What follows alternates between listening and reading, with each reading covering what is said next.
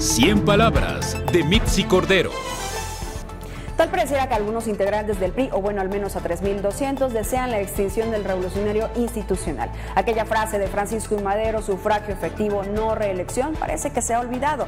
Alejandro Moreno, después de cinco años de no haber dado ni un solo resultado, más que, y déjeme enlistarlo, haber perdido 11 gobernaturas que tenían, irse al cuarto lugar como partido político y que 600 mil militantes se dieran de baja, tienen ahora la posibilidad de quedarse como dirigente nacional ocho años más. Y no solo eso, llama la atención que durante la asamblea Alito Moreno hizo referencia al Pemex Gate e incluso también al asesinato de Luis Donaldo Colosio, temas que desde el gobierno federal también han colocado en la agenda actual. Dice Moreno Cárdenas que a otros se les exigirán cuentas y transparencia.